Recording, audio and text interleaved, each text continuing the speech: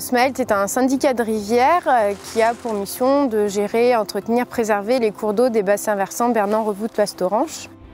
Donc ici on est sur le site des barges. Les travaux ont consisté dans un premier temps dans un reprofilage du cours d'eau de la Veine sur à peu près 300 mètres linéaires.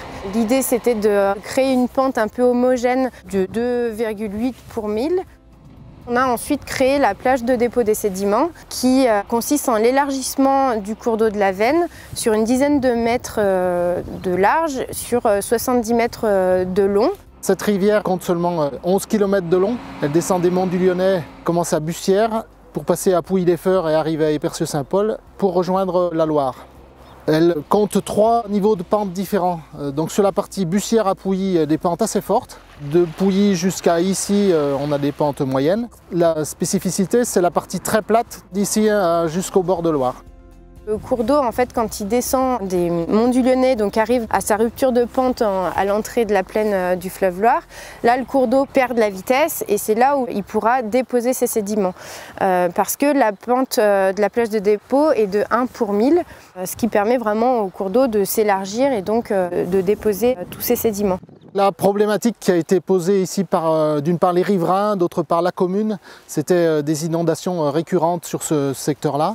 Inondations qui affectaient les entrées des habitations, qui affectaient la voirie et aussi les terres agricoles qui sont juste en dessous. Au niveau technique, donc on a stabilisé la plage de dépôt par un petit enrochement, un petit seuil en fait à l'aval de la plage de dépôt ce seuil-là permet de caler le niveau du fond de la plage de dépôt et de canaliser les écoulements en période d'étiage.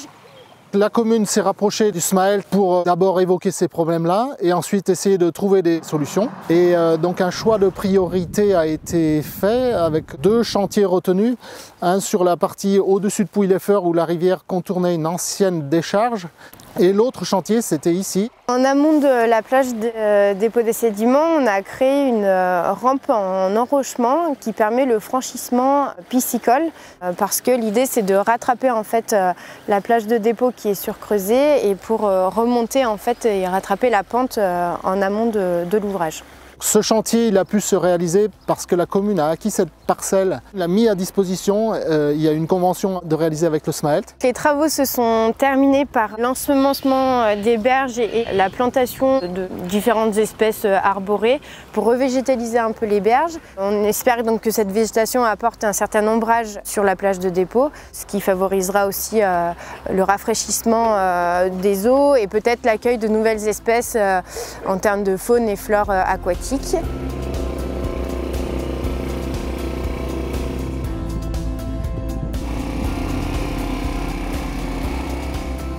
C'est quelque chose qui pourrait devenir peut-être euh, une piste pour euh, résoudre ces problèmes d'ensablement qu'on a en plaine.